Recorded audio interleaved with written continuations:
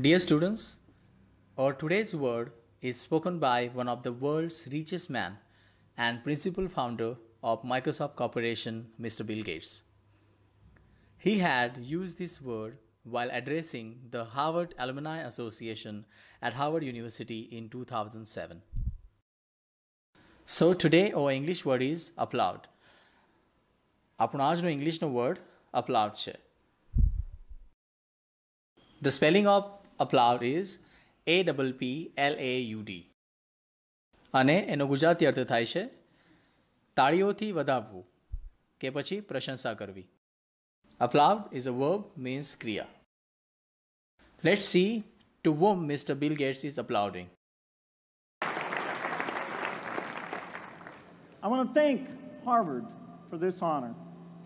I'll be changing my job next year, and it will be nice to finally have a college degree on my resume. I applaud the graduates. I applaud the graduates. I applaud the graduates for taking a much more direct route to your degrees.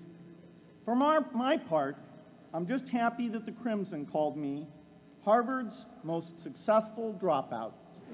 Now let's see the English meaning of applaud. Show approval or praise by clapping.